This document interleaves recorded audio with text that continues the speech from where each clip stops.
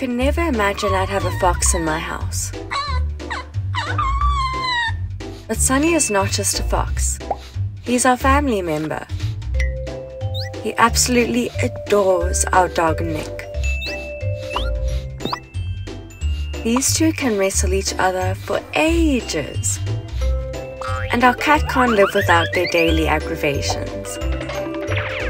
He's a wild animal and I never expected him to trust us this much. But after I saved his life, I guess there was no other way. When I first met Sunny, he was a tiny ball of fluff, lying hopelessly by a foxhole. He had wounds on his neck and legs, and he was completely alone. Some local farmers consider foxes pests and attack them. Unfortunately, they found Sunny's family. I scooped up the poor baby and rushed to the vet. There wasn't too much hope for Sunny. He was way too small and had a limp. So I tried my best not to get too attached to him to save myself from heartbreak. But it was bigger than me. I brought him home and started his treatment right away.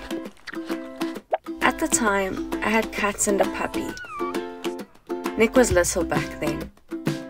And surprisingly, they all took to poor Sunny. The cats and him love giving each other a bit of a hard time. It's all out of love, of course. But Sunny and Nick kicked it off like no other. You just can't separate them. They love getting rowdy together. They run and dig outside all day. Although Sunny's a bit more proficient. And then after they tire each other out, they fall asleep nose to nose. It just melts my heart. Because I was helping him, Sunny opened up to me as well. And I couldn't believe it when a wild animal like him let me rub his belly. He is so affectionate, so gentle. So every day I fall in love more and more.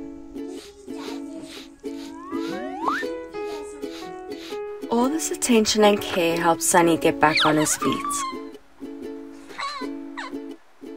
Sadly, his legs never recovered enough for him to be released. But even then, I caught myself thinking, is this the same scared, weak fox that I rescued? Now Sunny beams with confidence and joy. Whenever I look at this funny, energetic kit, I see how wrong those farmers were. How right I was when I saved him. If you are rescuing or thinking of adopting an exotic animal, please make sure to contact professionals and do your research so that they can have the best life possible. It's time to watch more